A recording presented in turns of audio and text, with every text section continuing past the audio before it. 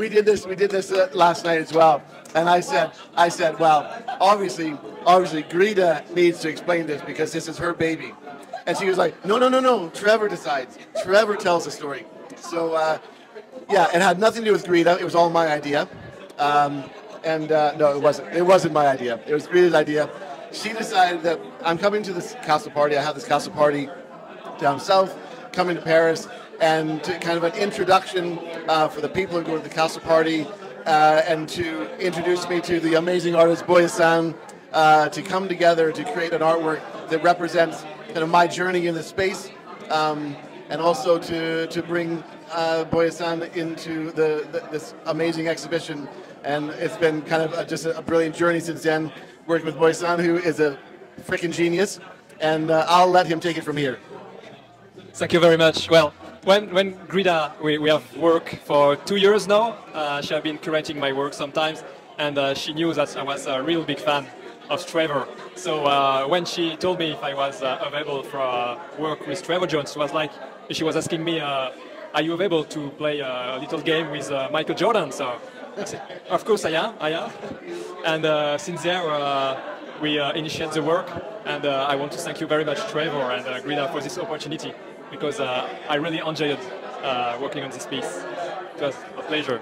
Uh, I always wanted to open uh, Trevor Jones' solo exhibition because uh, I'm a big fan of Trevor Jones, plus also Booyasan. And I heard the news that he's opening the Castle Party in France, and we are uh, the one of the first it is art gallery in Europe. So how come we, if we miss him, it, it's a crime for me. So we have to open his exhibition, and thanks to him, he allowed me to open his solo show and always uh, showcasing his own artwork. And plus, we needed a new artworks, but I know he was very busy. And my idea is, how about we make a collaboration out of his all uh, other artwork and making uh, new artwork through the Bitcoin Angel. So that was the idea coming from. And this John you're watching is actually Bitcoin Angel. Came from uh, the Bernini Italian sculpture, yeah, the Ecstasy of Teresa.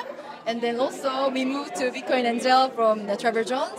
And uh, Booyasan also remade his own version. So this is the time, uh, let's say, timeless history pieces and that I love. And of course, I love all this Trevor Jones work. I just wanted to make an art historical point here. So.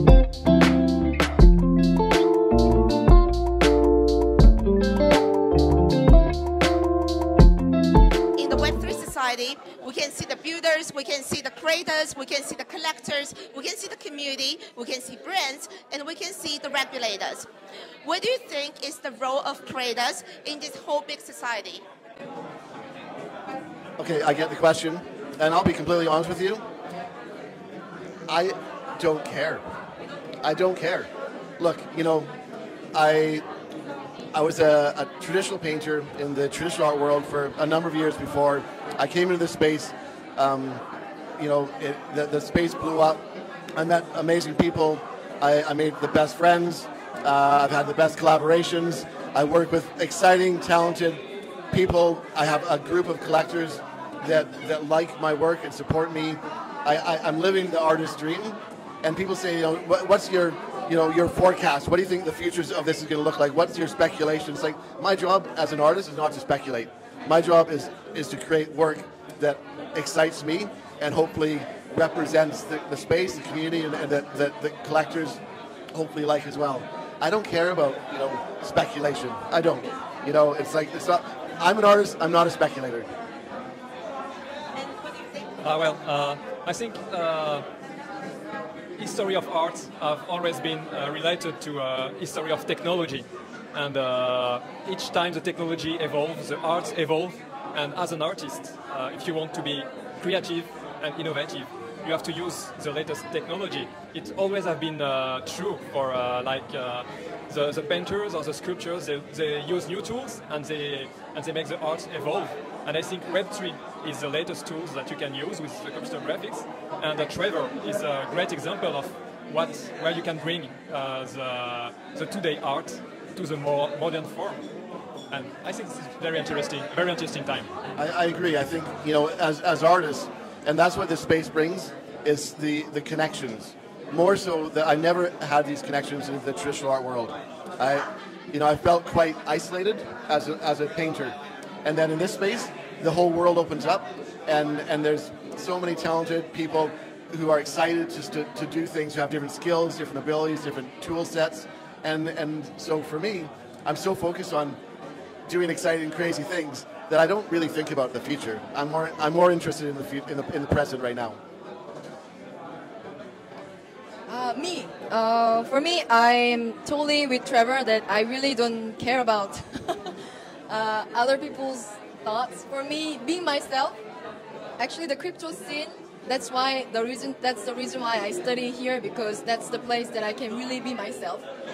Other Web 2 and other society that we're living in, we have more thicker masks, but here just being myself and we have cool friends and cool things happening. So just be yourself, be humble, and always talking about other people. When you make something, you always have someone to help you. You know, always mentioning it. So for me, just a few things we have to tag somebody to making it together. I think this is the thing. Otherwise, just be yourself. Is I don't know. It's kind of blurry answer, but that's the thing I want to tell you. Thank you. Thank you, Grida, and I totally agree.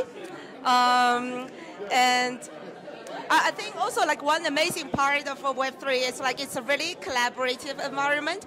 You see the artists helping other artists. You see the collectors helping the artists. You see artists helping the collectors. You see the community helping here and there. So it's a really um, um, a collaborative environment, and that's sort of also a new experience that I had when I started to work in this ecosystem. Okay, so final question. Actually, I think um, you have already touched a little bit upon it. Um, you are all like very successful artists in traditional world and also in crypto art. So yay! And uh, Grida, you are a very successful curator. I mean, like uh, if you come to Paris and you talk about like crypto art, there is no one that don't know you. Um, so if you would share a few tips to incoming artists into the crypto art ecosystem, uh, maybe like uh, one or two or three, like uh, as many as you want, what would that be? Okay. Ladies first. Uh, for me, as a curator, uh, thanks to all my friends and Trevor and uh, Booyasan, uh, yeah, I, I'm really loved. I, I feel that I'm so thankful that I, I can have uh, good exhibitions like Trevor Jones and have cool, cool artworks. The thing is, I think I, it's the same question and same answer that I told you. It's always mentioning other people. So there's a Korean saying that if you want to go up, you always spotlight other people. Then if other people are going up, then you are automatically going up. So for me, this is my instinct that if I make something, if I do something, I always mention thanks to Trevor, thanks to Booyasan, thanks to John. So it means I'm not alone, always doing it together. So don't be afraid if you, of course, what you make is important, but please don't mention only about you, you know? Always mentioning other people who are involving, who are inspired by you, you know?